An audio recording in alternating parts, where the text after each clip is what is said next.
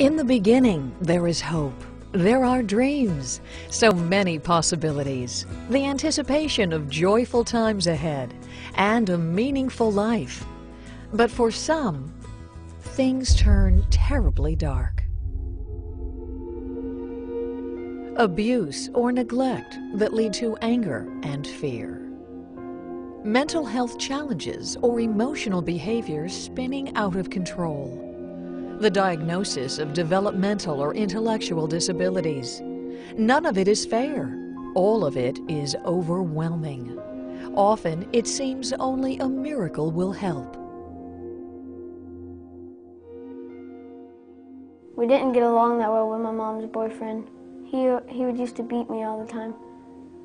He wouldn't beat my brother for some reason. I guess it's because he was older and could do something about it. But ever since then, it's been rough and so they got divorced and we had to go to foster home because my, of what my mom did with the drugs and stuff. So I'm eight and I've been in 12 different foster homes since then. When I was three, I was in a lot of trouble. My mom was never home, so I had no one to care for me, meaning I had to provide for myself, which is really wasn't really much. I was in a neighborhood where gunshots were fired all night. My mother was providing care for me, and eventually a foster care system pulled me out and placed me in a home. And ever since, I've been throughout foster homes.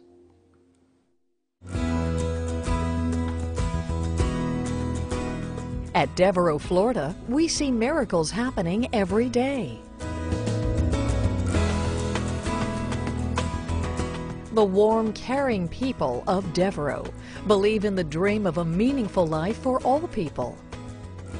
Children who arrive here have suffered more tragedy, disappointment, and pain in their young lives than most of us will endure in a lifetime. Billy's grandmother took him and his younger brother into custody when Billy was three because his parents habitually used drugs. After running away from foster care three times, he was brought to Devereux. They told me about this being a pre-independent living program where it shows you how you can succeed without the help of other people being there and that you can do it on your own and you can be much more responsible for yourself, you can look out for yourself and it teaches you basics of life. I've taken much liking to this program. I'd rather be home as any other kid with their parents. And hopefully, once I'm out of here, I'll be back in my regular high school where I started off at, be getting good grades, and hopefully go to college. We've just put him on the job list, so he's able to start looking for a job now, which means that we trust him to go out in the community now. And he's turned his grades around from straight F's and D's to um, he made the honor roll the last term in, in his school. Antoine spent 21 days in jail. On the day of his release, he waited, but his mother never showed up. With no family to help and no place to stay, Antoine was taken to Devereux. Devereux showed me a better perspective of what I could do than what I was doing when I was not in here. Showed me a better way to live and a better way to keep myself positive instead of being out on the streets and doing wrong.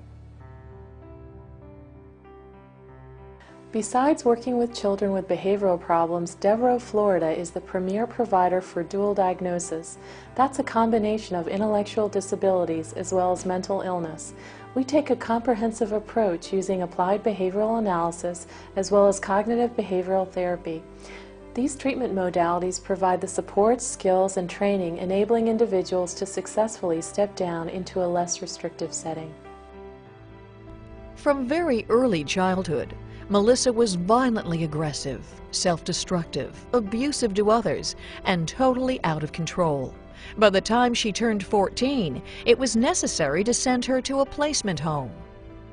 We had to go to several different placements and none of them worked. They all sent her back, didn't want to work with her, and they would keep sending her home.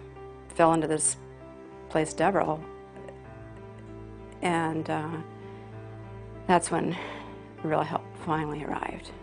The first thing I got to Devereux, I was pretty much out of control. I wouldn't wouldn't do anything. I pretty much was a screaming banshee, pretty much.